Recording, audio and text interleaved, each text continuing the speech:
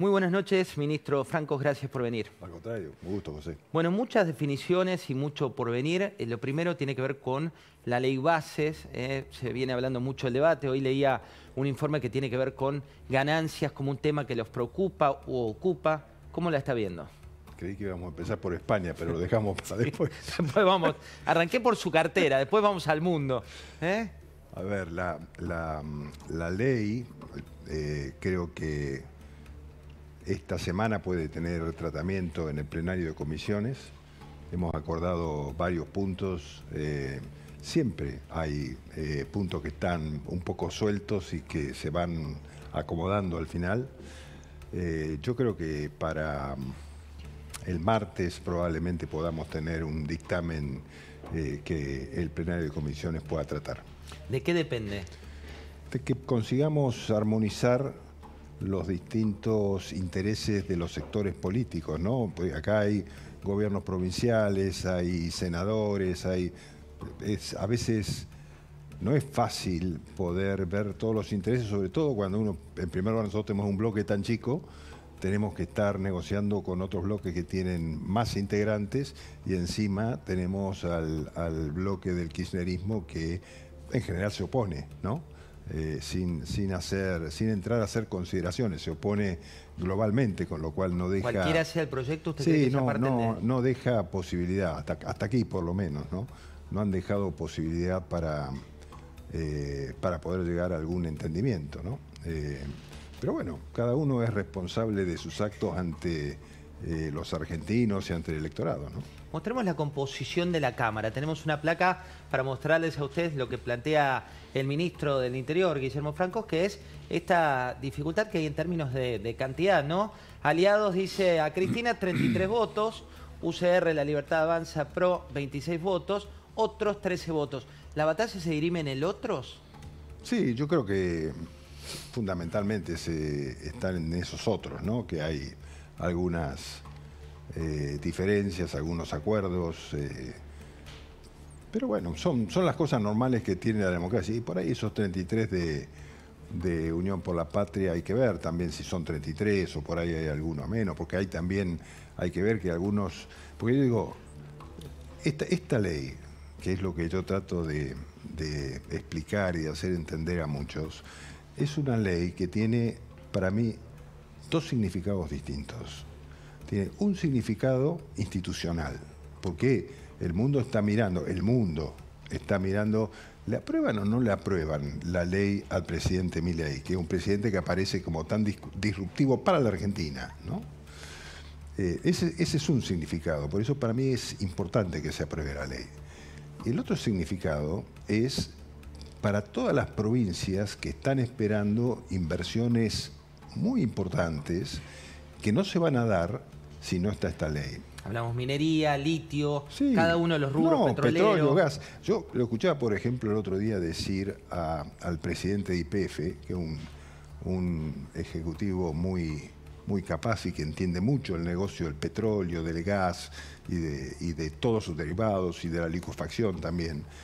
Y él decía en Nueva York, donde fue a buscar inversiones, a, estaba ahí a principios de la semana pasada y yo escuché una nota que le hicieron desde acá, desde Buenos Aires, y él dijo con toda claridad, si no hay ley bases, no hay inversión para hacer liquefacción de gas, es decir, para llegar gas, licuarlo y exportarlo. El gas de vaca muerta, esto que todos estamos esperando, que puede generar en pocos años 30 mil millones de dólares anuales de ingreso, eso no va a llegar si no tenemos una ley que garantice a los inversores su inversión. Hay una empresa, como todos ustedes saben, que es eh, Petronas, que está esperando para hacer una inversión en la Argentina, tener estas condiciones, porque si no, no lo va a hacer. ¿Pero por qué? Porque la Argentina no es un país confiable para el mundo. Hemos sido tan incumplidores, hemos roto tantos compromisos. Recién mostraba eh, Majul, o hacía una referencia a Majul, eh, señalándolo al que hablaba, que era el gobernador Kisilov, a lo que había significado los incumplimientos del gobernador con el tema de Repsol y PF, Eh, y ahí eso fue un golpe muy duro para la confianza del exterior en la Argentina.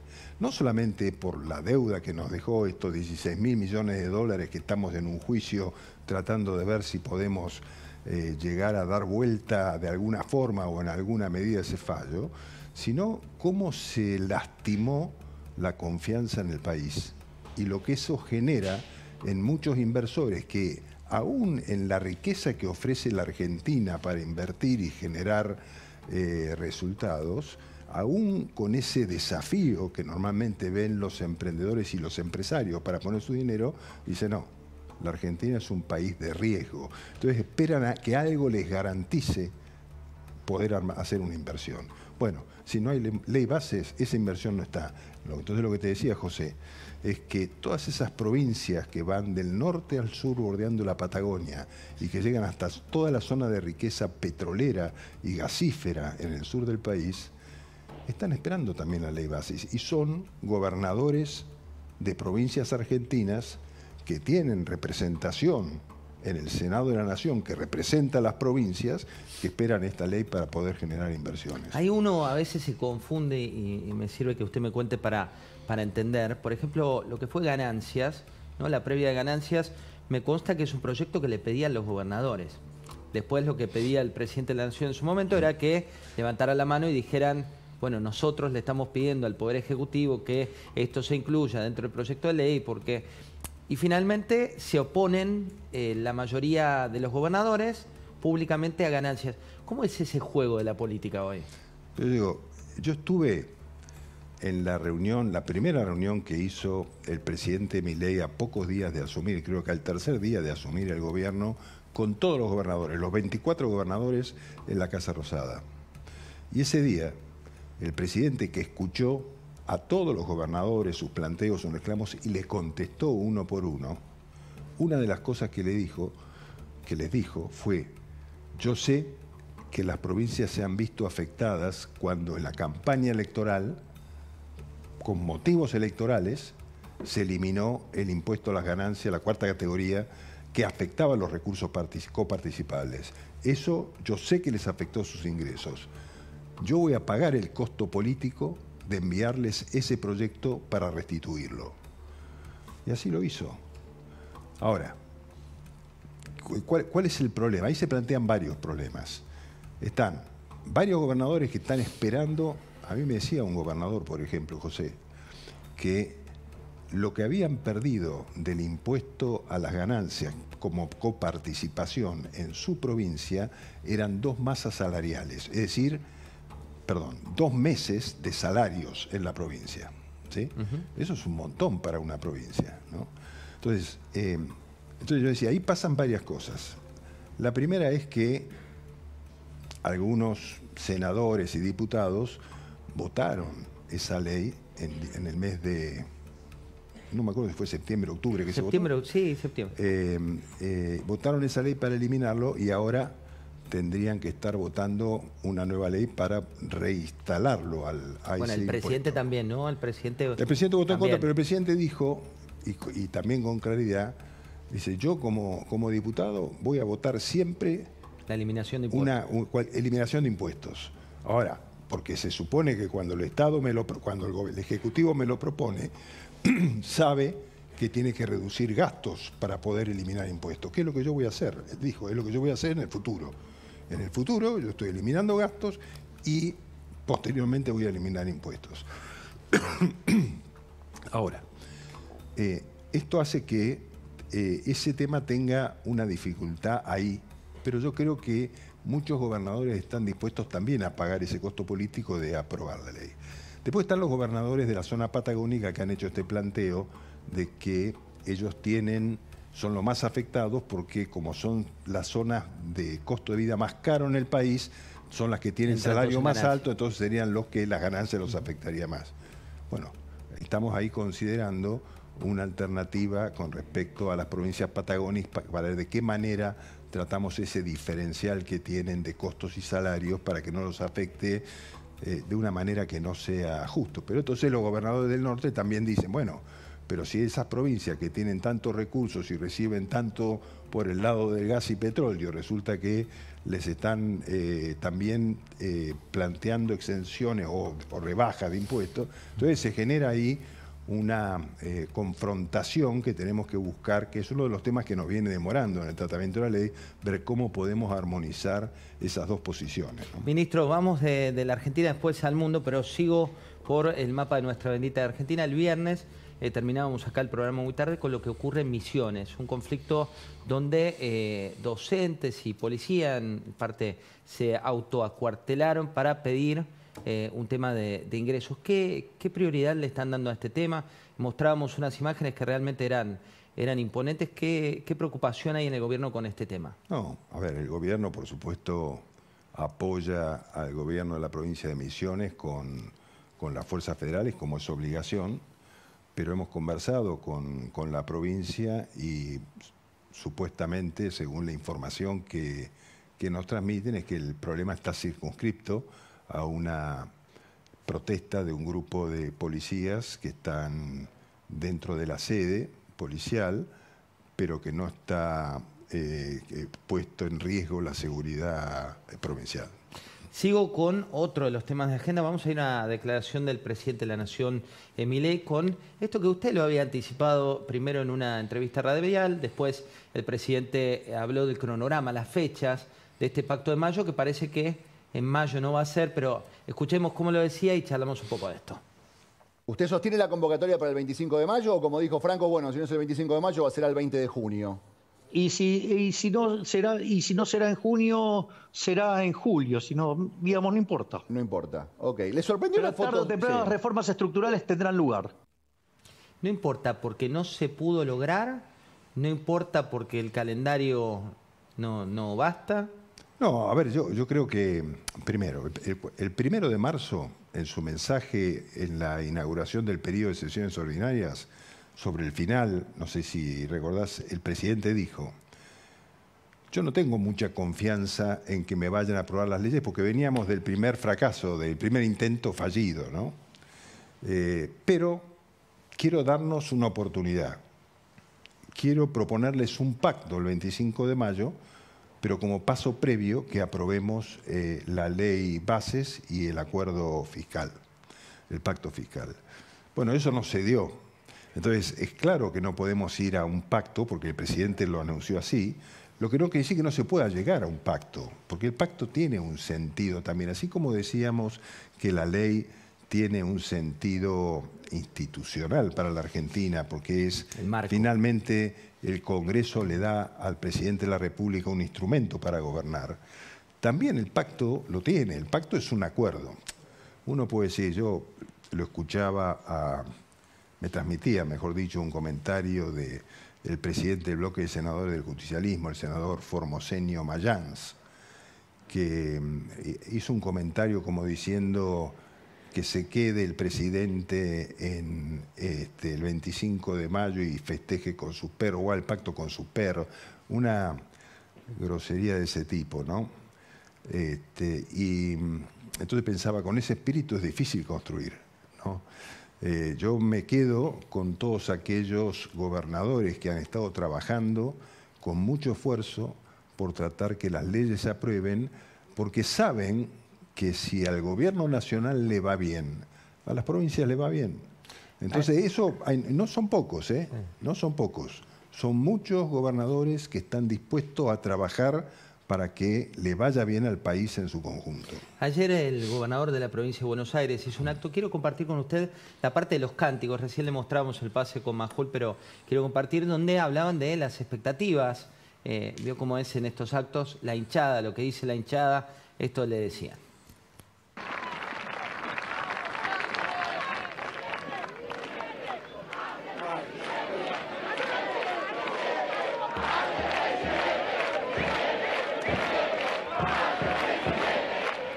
Tenemos por un lado esto, por otro fotos, eh, el gobernador de la provincia con Puyaro, podemos mostrar la foto que, tiene con Puyaro, otra foto que tiene con Nacho Torres. Este armado de, se siente, ahí la estamos viendo, las distintas fotos, una que tiene que ver con la seguridad, otra que tiene que ver con... ¿Qué significa esto en cinco meses de un gobierno? Eh, no, a ver. Los gobernadores tienen derecho de conversar con otros gobernadores y acordar. Pero yo escuchaba a muchos intendentes el viernes, intendentes conocidos de la provincia de Buenos Aires, peronistas, eh, con los que tengo relación hace muchos años, que me decían, qué raro, ¿no?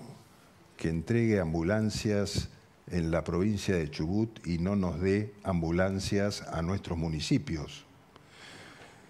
Y lo mismo decían con los patrulleros para la provincia de Santa Fe.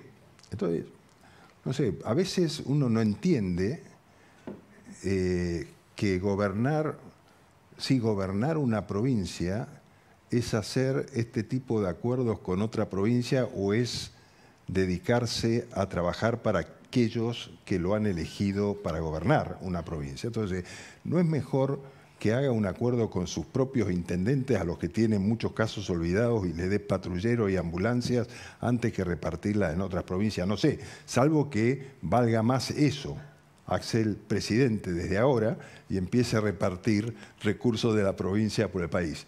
Nosotros no lo vamos a hacer.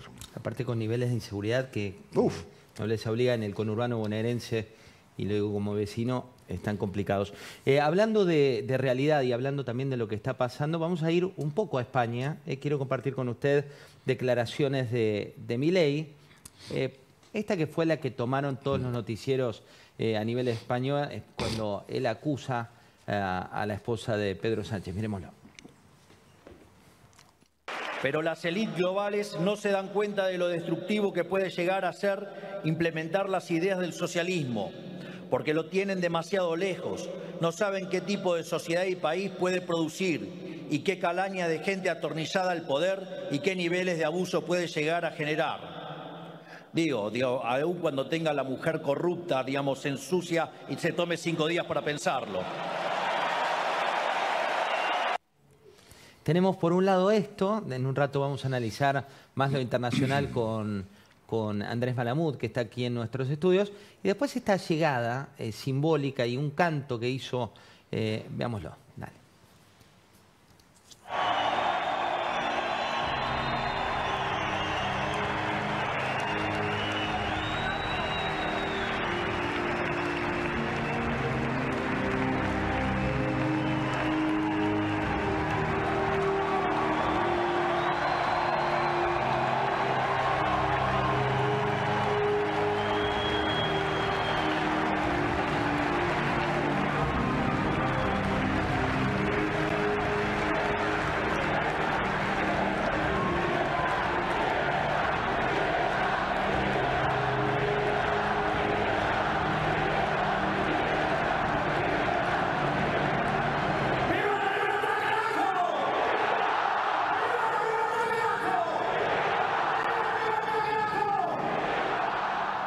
¿Qué le genera esto? Bueno, eh, me impresionó muchísimo.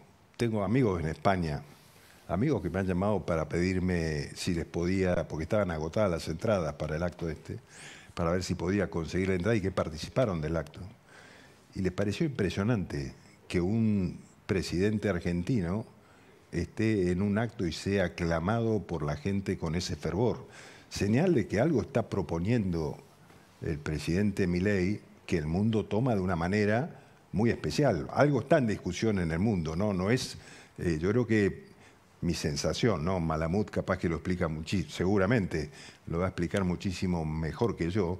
Creo que hay un cuestionamiento a las dirigencias políticas por una frustración que sienten las sociedades y un poco Milei encarna esa protesta de la gente hacia hacia las dirigencias. Bueno, a mí me pareció tan evidente eso, ¿no?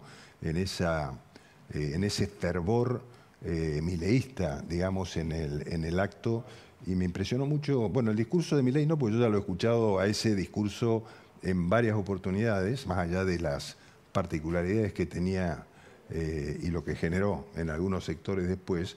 Y también me impresionó muy bien el discurso de, de Abascal, me llamó la atención. Yo no lo, no lo conocía tanto a Bascal, pero me pareció de una precisión quirúrgica para, el momento que vive Europa, ¿no? las, todas las, eh, los temas que puntualizaba Bascal estaban exactamente ubicados a las preocupaciones de Europa, ¿no? O de los europeos en general, a lo mejor no de todos los gobiernos, pero de los europeos en general. Me impresionó mucho el acto. Y después, por supuesto, la- las repercusiones de algunos de los temas, ¿no? Eh, y no sé si me lo vas a preguntar o no, pero yo te lo voy a contestar igual, porque este, yo sé que se generó un cuestionamiento a, un, eh, a una expresión del presidente Milei que sin nombrar a, nadie pareció interpretarse... Esta que le mostramos, la de la, de la mujer. Pare- de sí, Pedro pareció, sí, sin nombrar, ¿no? Pareció interpretarse eso. Entonces, yo me tomé el trabajo hoy de resumirme algunos de los temas que durante el mes de mayo fueron ofensas del gobierno eh, del presidente Sánchez hacia Javier Milei. Empezamos el 3 de mayo. El 3 de mayo, el ministro de Transporte del gobierno español, Oscar Puente, acusó en un acto público, en un acto público al presidente Milei, se vio mucho, ¿no? Eh, de ser gente muy mala y de consumir sustancias. Vaya, si eso no es una ofensa directa al presidente de los argentinos. Si, si vos sos el presidente Sánchez, ven y Puente, presentame la renuncia. ¿No? ¿Cómo, cómo un ministro va a insultar de esa manera? No hizo nada Sánchez. ¿eh? El 16 de mayo, la ministra de Ciencia, Innovación y Universidades del gobierno español, Diana Morant, dijo que el presidente Milei es un ejemplo de un modelo de negacionismo que atenta contra la propia democracia. Lo llamó antidemocrático. ¿Sí? ¿Dijo algo el presidente Sánchez? No dijo nada. ¿no? Bueno. El día 17 de mayo, la vicepresidenta y ministra de Trabajo, Yolanda Díaz, señaló que Milei y otros gobiernos del odio vuelven con el autoritarismo. ¿Dijo algo Sánchez? ¿Y la frase esta No fue una nada. represalia? Esa? No, yo no digo, yo digo, si, si cuestionan una frase, de- no, no, yo no digo que, presi- que- que el presidente haya hecho una represalia. Yo lo que digo es que el gobierno de Pedro Sánchez se ha caracterizado por atacar al presidente Milei en repetidas oportunidades en este mes de mayo.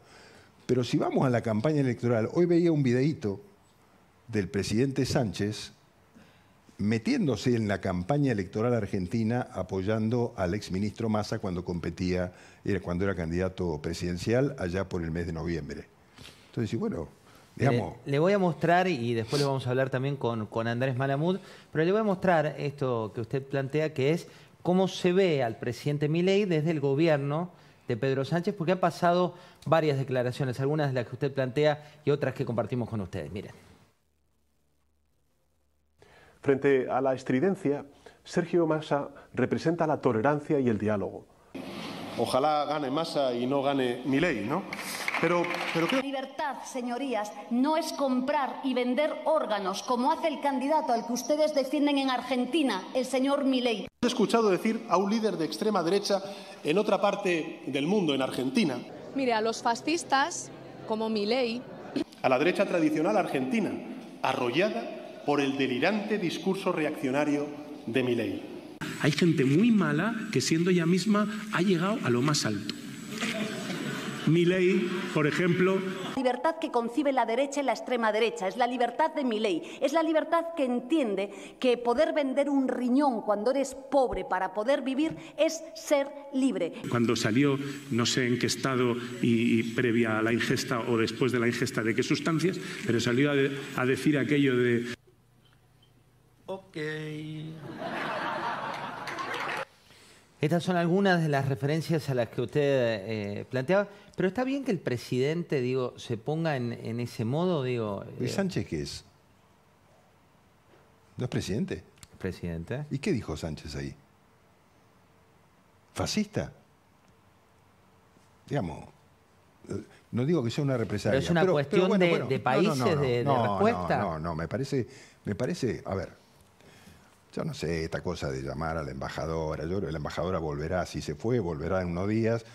No tiene ninguna lógica que haya una escalada diplomática por una cuestión personal entre dos dirigentes.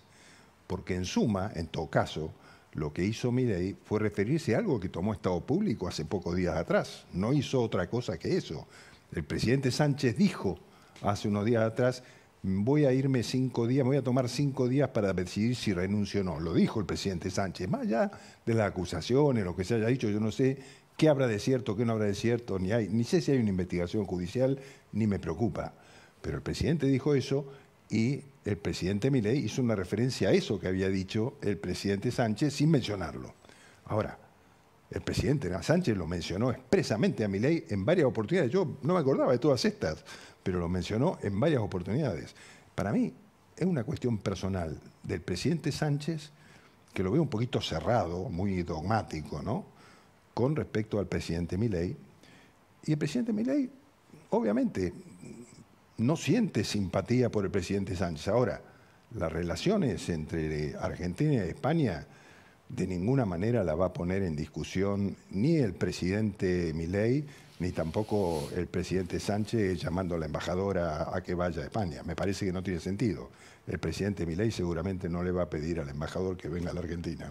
Ministro, le vuelvo a traer a, a nuestras fronteras y hay dos situaciones, ¿no? Por un lado, está una buena noticia que es fáctica, que está bajando el nivel en el cual crecían los niveles de precios, la inflación, y otra que también es un poco más preocupante, que es 63.000 puestos de trabajo del sector privado que eh, han desaparecido en el último tiempo, se estima que van a llegar a 100.000 con el completar del próximo mes.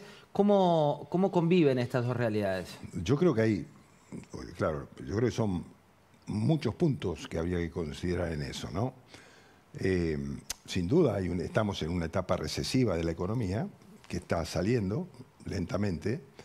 Yo el jueves le pedí al presidente del Banco Nación que me dé números de cómo estaba la situación de los préstamos del banco.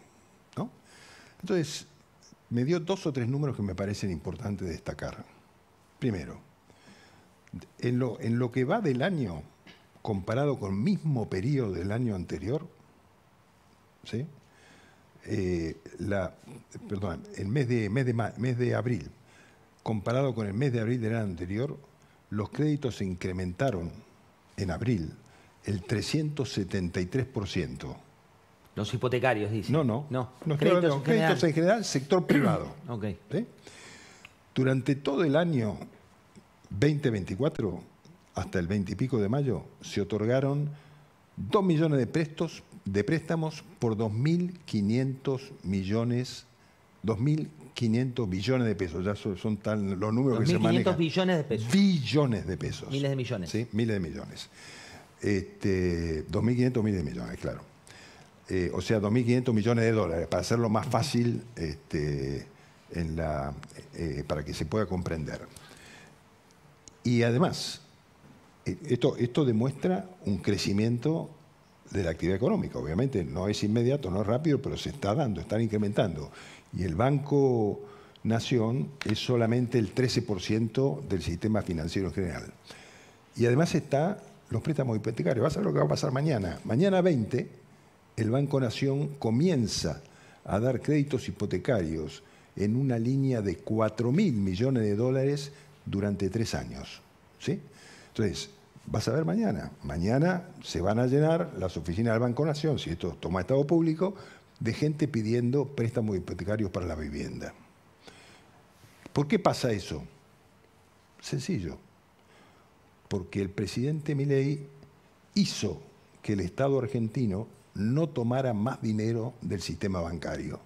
Entonces hoy todos los bancos están líquidos, todos los bancos pueden prestar y tienen que salir a competir para prestarle al sector productivo, a los emprendedores, a las pymes y a la gente, a la familia que quieren financiarse, comprar vivienda, alquilar o lo que sea. Ministro, le hago las tres últimas para un peloteo. sí.